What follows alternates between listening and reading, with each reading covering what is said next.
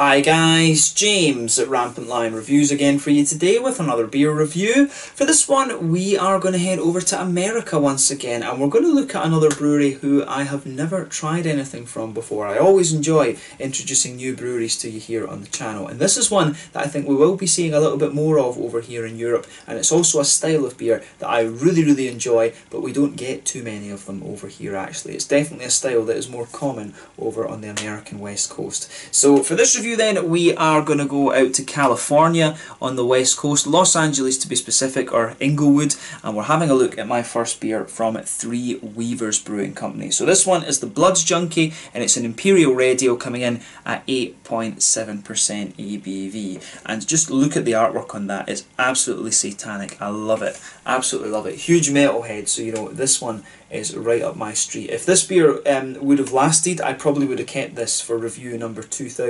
2666, but you know, as an Imperial Red Ale, it's kind of similar to an IPA, so you know it isn't going to last that long actually. If it had been an Imperial Stout or something like that, then I probably would have kept it for uh, for that special review. But yeah, I'm really looking forward to trying this one. As I've told you before, I absolutely love red ales, especially the Imperial Reds, and uh, I just wish I could get more of them to review. So do give me some suggestions of red ales and Imperial Reds that I can review in the uh, in the comment section below because uh, this is not a style you find too often over here in Europe. So your recommendations would be muchly appreciated. But hopefully I can get out to the American West Coast at some time and try some more examples of these. But really looking forward to trying my first beer from Three Weavers, and as always, I hope that you guys enjoy my take on this one as well. I'm sure Blood Junkie will be a really nice introduction to this brewery. And we got this one here in Sweden through one of the small parties, the Tillfälligt Sortiment, I believe.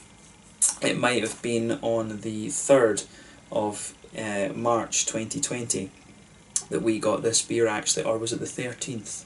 Of March 2020. It was one of these, the two um, Tillfälligt sortiments, or three Tillfälligt sortiments actually, but one of the earlier two that we're getting in March of 2020 through Systembolaget here in Sweden. So let's see how we go. But yeah, as always with my reviews then, I'll tell you a little bit about the brewery before we taste the beer. If you want to get straight to the tasting, just fast forward. All the usual links are in the description below. That's the brewery website, the link to my other reviews that I'll do in the future from Three Weavers Brewing Company. Very first time I'm trying one of their beers as I mentioned. Hopefully hopefully not the last. There's all the usual social media down there as well. If you want to see more reviews, do please consider subscribing to the channel. The whole channel, of course, has a geography-based tagging system, so you can go into the home page and search for beer based on country, city, state, county, prefecture, whatever it is you're interested in. Do check out the playlists of beers from different countries. There is one there for all the American beers that I've reviewed for you. That's being added to whenever I get the opportunity, which is fairly regularly. And as always, please do get in touch and let me know some of the other beers and breweries that you guys would like to see me review. It's always great to hear from you guys that are watching the videos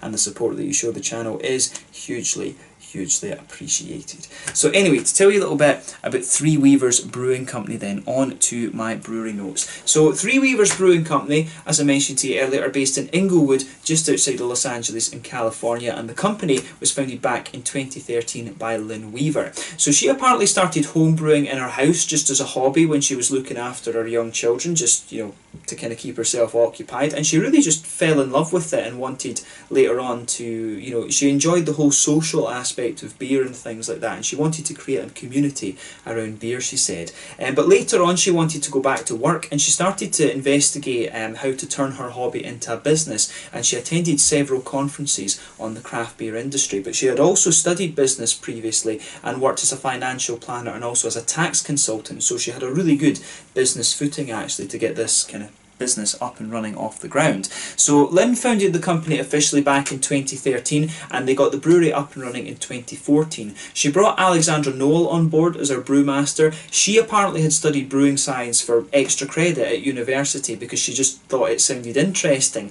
But she worked as an intern designing a training program at Sierra Nevada and then she went on to brew for Moylan Brewery in Oakland and then for the Kinetic Brewing Company on the edge of the Mojave Desert as well. But she met Lynn apparently through a brewing supplies company, and they really just hit it off straight away. And Lynn was lo- was uh, looking to recruit a brewmaster to join the company, and it was just the ideal match. But over the years, the two of them have worked together. They've continually expanded the capacity of the brewery. By 2018, they were apparently producing 12,000 barrels per year, and then in 2018, they also joined the Canarchy partnership as well, which includes Cigar City, Oskar Blues, and a few others. So I think this is the reason why we're starting to get some of the Three Weaver stuff over here in Europe because, uh, you know, since uh, we always used to get uh, Oskar Blues, but uh, we never used to get Cigar City as easily as we do now. So I think now that these guys have joined this sort of alliance, if you like, we will start to see more of their beers over here too, which is great. Obviously, I do like the fact that we're getting more West Coast beers now as well. Um, but they've got plans to take their brewery capacity up to forty-five thousand barrels per year. That's the maximum capacity they'll get out of their building that they have. And as of March 2020, when I'm filming this review for you, they've produced around 120 different types of beers. Apparently the name Three Weavers comes from uh, the fact that Lynn has three daughters, and she said that she set up the company basically to show them uh, that you know if with a little bit of hard, well, not a little bit of a hard worker, with a lot of hard work, you can really make something out of nothing. And she said it was very important to her to uh, to kind of show our kids that you know with hard work and graft you will be able to build something like this actually. So um, yeah very very cool. But like I said this is my first encounter with Three Weavers. Um, there's a few other beers are very well regarded. There's one of the IPAs uh, I forget the name of it now but there's one of the IPAs I read was very was supposed to be very very good. So hopefully we get that over here uh, in Systembolaget at some point and I can review that for you as well actually. So um, yeah that's all you really need to know about Three Weavers Brewing Company for the moment. If you want to learn more of course you can check out the brewery website. You can follow them on Facebook Facebook and Instagram to keep up to date with all the latest goings on. And if you're interested in those 120 different beers that they've done, you can check out the Rate Beer, Untappd, and Beer Advocate pages to see all the different things that are available. So, um, yeah, like, like I say, interesting brewery this one, and hopefully not the last beer that I try from them. So, to tell you a little bit about the beer itself, I put a, a note on the hops and malts here too. Like I said, this one is an 8.7% Imperial Red Ale. It's hot with Mosaic, Equinox, Chinook and Simcoe. It has an, a malt base of English crystal malts. And this one, from what I gather, was originally brewed back in 2014 as a collaboration with Prosthetic Records, who I think are a metal uh, you know, a heavy metal record company actually. I'd never heard of them. I think, you know, the ones that I always know from the States would be Metal Blade. But over here in Europe we've got like Frontiers, um, Spinefarm, we have Nuclear Blast, AFM, um, well, who's the other big one from Germany? Uh, Napalm Records, uh, they're Austrian rather. So we've got our own metal uh, metal labels and stuff over here which have a lot of the, the famous European bands if you like but they've got lots of different metal uh, labels over there in the States too. But um, yeah let's get on with this one and see how we and see how we go. So as you can see this one is one of these um, American pint cans. I think this is 473 milliliters in real people measurements is one US pint. So this one is a nice big 473 milliliter can and as I say, the artwork on this is absolutely beautiful. I'll definitely be keeping a hold of this can. Just look how awesome and satanic and oh, and devilish that is. absolutely love that. Um, you know, I'm a big into my uh, my heavy metal, of course, so the whole satanic thing, I find it quite funny and interesting. But yeah, I will definitely be keeping hold of this can. Um, it tells you on the back about you know the the collaboration with this one. It's a ruby hued imperial red ale, 8.7%. Um, it's not the heaviest um, ale that I've come across right enough, but I'm sure at 8.7% you're sort of bordering on the, the double IPA territory. In fact, no, in fairness, you probably are into the double IPA sort of category because this, you know, the Imperial Red. I'm not quite clear on what exactly is the difference between an Imperial Red and uh, an Imperial Red IPA. It's probably just hop content, right enough. But there's some awesome hops in this one. So we know Mosaic is well known for its sort of tangerine oranges.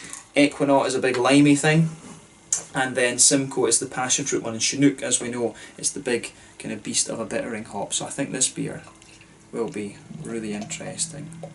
But let's just see how we go with it. Um, look at the copper colour of that. That is awesome. Um, yeah, this one is a proper. I've had some Imperial Reds, and um, one thing I've never really found out about this style is you do sometimes find uh, the red ales called the American Amber. As well. And I've never found out whether um, there is a bit of a distinctive difference between those actually. I think they are fairly similar, just it's different colours of malt and lengths of boil and things like that that distinguishes them. But look at this, this looks absolutely beautiful. If I shine the light through this, this one's got a lovely kind of chestnutty type colour to it. Um, it's definitely more chestnutty than ruby. It's almost a little got a little bit of a kind of copper tint to it as well. You can see that there's a solid finger. You can see that there's a solid finger and a half of a frothy, um, kind of light beige, creamy tan head. There's one or two big bubbles sticking towards the side of the glass. A few little ones heading up towards the uh, the bottom of that head there. But you know, overall, it looks very nice. And this beer is actually really nice and clear. Actually, I like how this one. Um, I really like how this goes together. This is a lovely um, looking beer, this one. So yeah, definitely within the realms of possibility for an Imperial Red and you can smell some of this lovely fruity quality coming out of the beer. So let's take a closer look at that aroma then and just see how we get on with this one. Oh yeah. Um, you know, one of the things, I think my first encounter with the Imperial Reds, it might have actually been um, the First Blood. I've mentioned this beer so many times in videos. I really want to get a bottle of that to review it. But it was a beer called First Blood from uh, Eight Wire Brewing Company down in New Zealand, and I tried it on tap in a bar in uh, in Auckland, and you know it's one of these ones that's just always stuck with me. And then since then, I just always wanted to try pretty much any red ale that I came across. Um, and this one really, um, it really just kind of hits the spot almost. If I was blind smelling this, I would perhaps think there's a wee bit of cascade in here because there's a few of the sort of telltale signs of cascade, but it didn't say on the website whether there was cascade in this as a bittering hop or something. I'm not sure if the hops I mentioned, the Simcoe, um, Equinox, Chinook and Mosaic, I'm not sure if they are added later on in the boil just for the flavour and aroma and things. But there is something that tells me there might be a wee bit of uh, cascade in there. But in fairness, Chinook is just like a kind of uh, Chinook is a little bit like Cascade on steroids, in fairness. Similar flavours and profiles and stuff. But the aroma of this beer is absolutely lovely. So you can smell a little bit of the bready base in this one. You've got a lot of that kind of McVitie's digestive biscuity sort of thing, or we should say cookie because this is an American beer. Um, but yeah, it's got that lovely kind of McVitie's digestive biscuity sort of thing to it. There's definitely some sweeter caramel to this too. Um, yeah, there's definitely a bit of that sweet caramel in there. And it's got a wee bit of a kind of slightly woody undertone to it, but that's quite minimal. It's mainly, you know, you can smell the pale malty, white bready sort of thing. It's almost got a little bit of a kind of brown bready hint to it as well. But like I say, sweet caramel in the middle, a little bit of a, um, little bit of a sort of uh, McVitie's digestive biscuity sort of thing and then you've got the hoppy side of this beer. And these hops that are in here will behave a bit differently because of the malt base. You know when you add Simcoe into a black IPA it will give you some lovely sort of reddish berry fruits but if it's on its own in a, in a sort of white malt base if you can call it that um, it always gives you passion fruit and things. So these hops are going to behave differently when you've got a more brown sugary orientated malt base. So yeah um, on the fruity side of things the oranges, the tangerine oranges are definitely there. That'll be the mosaic coming out. Um, you do get a little bit, there is a little bit of a limey quality to this one in fairness. The Equinox is coming out for me. And there's quite a bit of a red fruity character, which I think will be the Chinook, and to a degree it will be the Simcoe as well, because I'm guessing the Simcoe will behave similar, uh, similarly to how it does in a black IPA with this, with the, the, the more brown sugary and slightly darker malt base. So yeah, there's a little bit of a kind of, um, it's not, it's almost like black curranty, figgy, um, it's not quite berryish, it's definitely more of a kind of candy, it's got a little bit of a candied strawberry, candied figgy sort of thing, and, uh, and other stuff um, going on with it. So yeah, it's a really interesting um, aroma that comes out of this. It's well, it's really well balanced between the malty side of things and the fruity side of things. Uh, on the green side of the hops, there is a wee bit of a floral character to this one. Not really a darker piney resin, but you've also got a little bit of a kind of grassy kind of quality to it as well. But I mean, overall, um, it's a really nice smelling beer. This one is pretty much what you would expect for an Imperial Red if you know the style.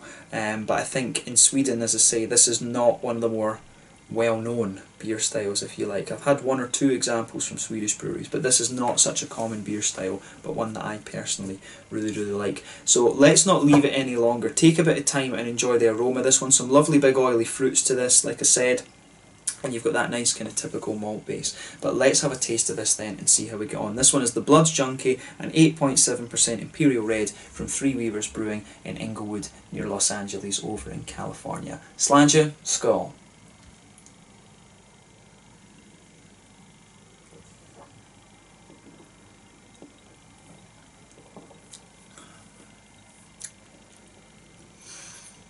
That's nice. That is really quite nice actually. Um, yeah. Uh, I'm going to say thumbs up to Three Weavers on this one. This is definitely one of these beers where it takes your mouth just a little bit of time to sort of adjust to it. But this is really quite nice. And it's interesting because, you know, for quite a wee while we hadn't had any um, red ales or anything like this, but in the same lot that Systembolaget released, we also had um, you know, we also had the, the Lucky 13 from Lagunitas, which was another very, very nice red ale. And um, so, yeah, I don't know why we get two in the one. We don't get them for ages, and then we get two in the one lot, actually. But, you know, if, if anyone from Systembolaget is watching, please bring more of these in. These are awesome beers.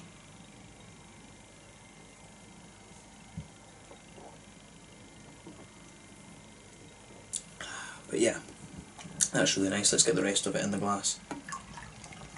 This is one of these beers that I will definitely enjoy myself. Usually I share uh, the beers out, but this is one that I'm definitely going to be enjoying myself. I love my. I'm a bit selfish when it comes to the imperial red ales, as I am with my smoked beers. You know, they're mine when I get these. Um, but yeah, this is lovely. Let's try and break down the flavour a little bit more.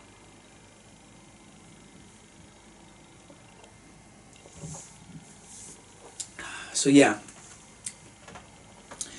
uh, in the middle of your palate then you can feel that nice kind of bready base to the beer. That just blankets the uh, the middle of the tongue. Um, it's that crystal malt giving you, I'm sure it was Brit, they said they put English crystal malt in this one. And it gives you that lovely smoothness, sort of brown bready notes, a little bit of a white bready quality in there. In the very centre of the palate you've got a thicker um, caramelly note and it's it's not quite oily. It, it's not the, the, this isn't the most oily of Imperial Reds that I've come across. In fairness, that strikes me as being a little bit more sort of drinkable than the, the Lucky 13 from Lagunitas was. But in fairness, I think the Lucky 13 was that, was I think that was around 10%. That was a bit heavier than this one in fairness. But um, yeah, I mean this one has a nice. It has it almost just drinks like a like a red double IPA to be honest with you, but a lighter double IPA. Um, but the full it, it, it feels lighter in its mouth in its uh, in its mouth feel, but it has all the flavour you'd expect of the style. So that's the interesting kind of quirk about this beer for me.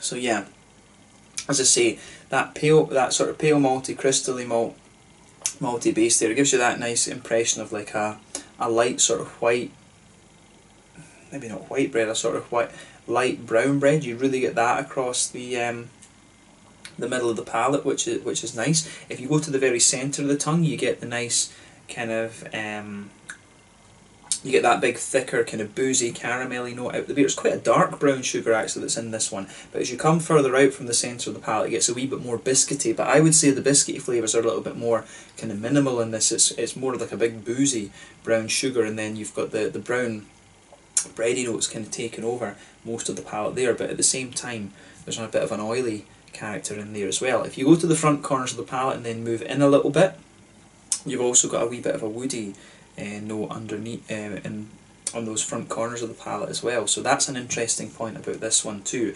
But I will say this one is um, this is a really solid Imperial Red Ale. It's not the, the, the sweetest one that you're going to come across. I mean, it strikes me if I was blind tasting this, I would. It's not quite as sweet as some of the Imperial Reds you're going to come across either. Come to think of it, but um, I think if I was blind tasting this, I would probably guess that it was more of an IPA than, a, than an Imperial Red. But again, it's it's to do with the malt content. Usually, with an Imperial Red, you, you it would be a little bit more kind of thicker and sweeter in its malty notes. This is more, I think this is a bit more like a red IPA. But I mean, we can sit and argue about styles all day. The question should be whether it's a good beer or not, and it certainly is. That's the main thing to take away here. So let's look at the hoppy side of this beer then.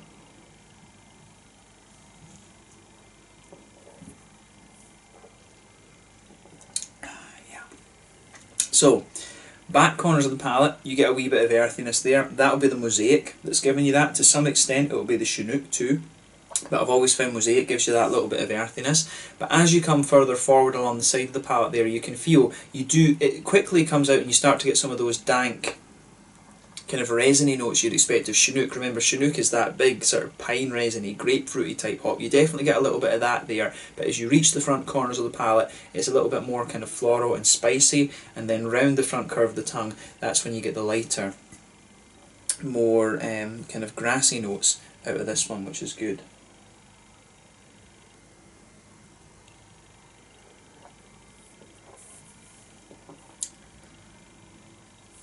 So yeah, I really like how um, I really like how this one um, goes together in that regard as well. The fruity side of this beer is nice. Round the front curve of the palate, as I say, it's just a little bit lighter and grassy. Then you get all these big fruity esters out of this one, just in that oily bubble behind the front curve of the palate. That's where these juicy fruity esters just roll out of the beer.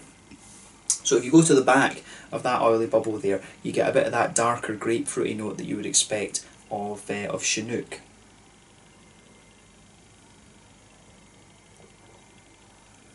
And there is just something in my head that there's something in here that reminds me of Cascade for some reason. I do I do wonder if there's a bit of Cascade in this as a bittering hop or something. One of my local breweries back home in Scotland, they've got um, a Cascade hopped Pilsner beer, the Schiehallion Harviestoun Brewery, and that's a sort of go-to sessionable beer. I really really like that one. Um, and I love the Cascade hop that you get out of that. And there's just something about this beer that makes me say Cascade. But as I say, when you come further forward from that darker grapefruity note, um, this beer it very quickly starts to lean towards um, a sort of big oily orangey note. And it's interesting that because normally when it comes to the more oily orangey flavours, you would think Amarillo but they've gone for mosaic in here for the orangey side of it and it, it works really well. It feels a little bit lighter and not quite as thick as Amarillo would but the tangerine, the lighter tangerine notes you get out of this are really very nice. As you push further forward on the tongue you do start to get a little bit of the limey character from the Equinox and I think the Simcoe in this one, you know the Simcoe is going to give you some of these little red fruity flavours and stuff and when you concentrate on the front of your palate as you go further into the aftertaste you will get a little bit of a you know, slightly kind of figgy, candied fruit note out of this beer. So I think that's where the Simcoe's coming out with this one.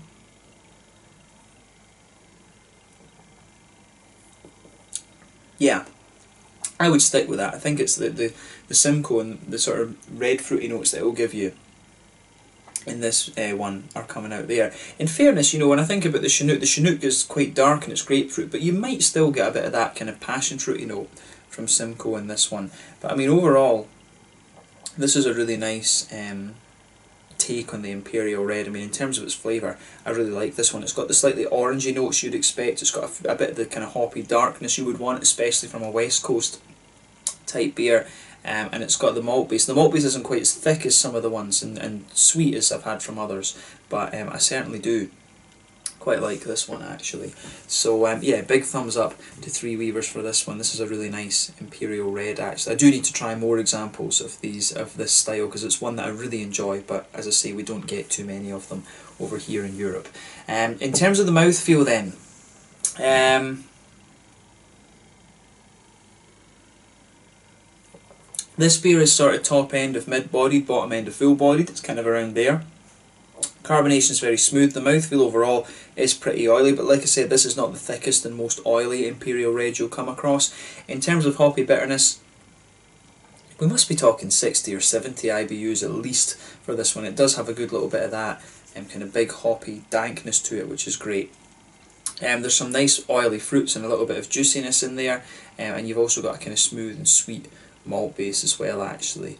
Um, the malt base in this one, as I say, not quite as thick and oily as you'll get from some in this style bracket, but I really like how this um, how this goes together. So yeah, thumbs up to uh, Three Weavers for this one. This one was the Blood Junkie um, Imperial Red at 8.7% from Three Weavers in Inglewood in Los Angeles over in California in America. Awesome to try this beer, really nice introduction to this brewery and I hope that you guys have enjoyed my take on this one as well. I do hope we get more Imperial Reds through the Tillfällig sortiment in, uh, in. So yeah, let's leave it at that. Once again, thank you for watching my beer reviews. Until the next time, please like, subscribe, share, all the usual YouTube stuff. Let me know your own thoughts on this beer in the comment section below. Let me know what your favourite beers are from Three Weavers as well. And I'm sure we'll be returning to these guys at some point fairly soon. Till the next time, slàinte just now. Check out my social media, check out Three Weavers Brewing Company, and I'll catch you guys later. The Imperial Red uh, Blood Junkie from Three Weavers, Inglewood, Los Angeles County, California, America. Slàinte, Skål, cheers.